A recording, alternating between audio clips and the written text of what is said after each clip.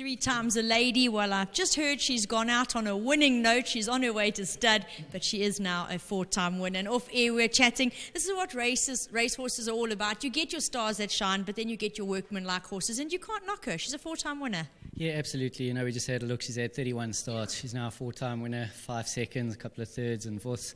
She's been in the money almost 50% of the time, and you know from an owner's perspective, you don't realise. I mean, I know the Scribantes definitely do because they, they, they're well supported and represented in the industry. But just generally for, for those out there, you know, it's a good result at the end of the day, you know, for a horse. So, as you say, she's been workmanlike. She's never ever set the world alight. Um, she's been there, thereabouts, yeah. and she's managed to notch up her fourth win on her, her ultimate time at the races.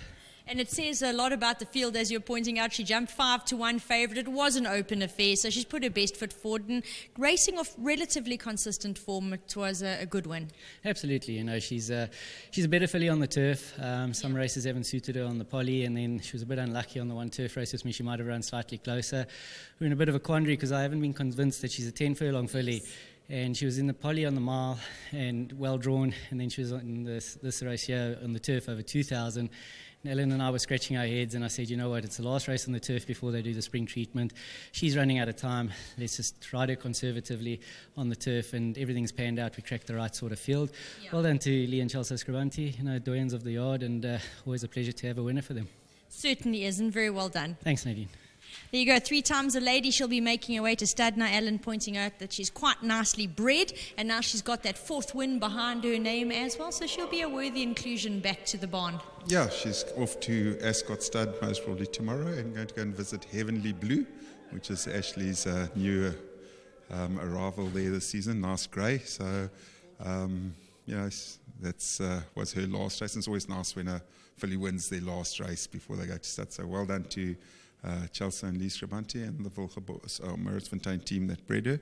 Um, and yeah, you know, I thought she'd win a couple more races, but she's been a little bit unlucky. She's won four, um, and she goes out on a. Yeah.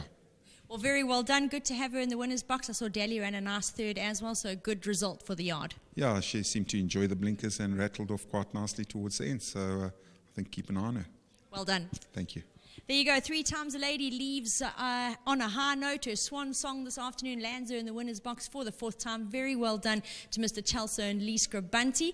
And yeah, she'll be soon uh, breeding the next generation.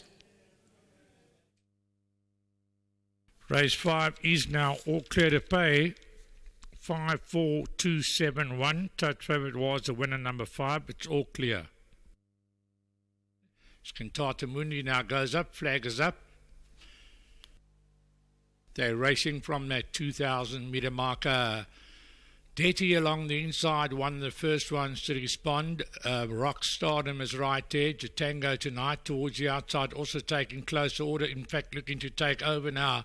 Bell Towers right there. Redberry Wood towards the outside. Lay Tessend. They've been followed in by Silver Goblet, uh, Settlement Dane. Widest of all, we've got Lay Tessend. Boldness is further back, and then.